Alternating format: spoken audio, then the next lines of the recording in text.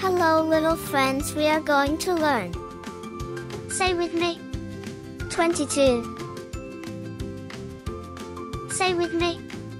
22.